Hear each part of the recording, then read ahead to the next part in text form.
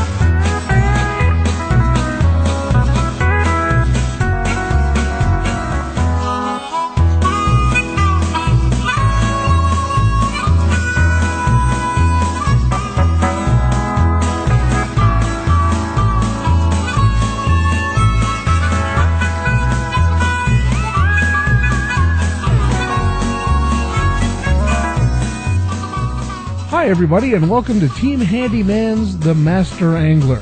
Sit back and spend the next few minutes taking in some of southern Alberta's great scenery, as well as some of its best fishing as shown by one of its most experienced guides, Andy Vander Ploeg.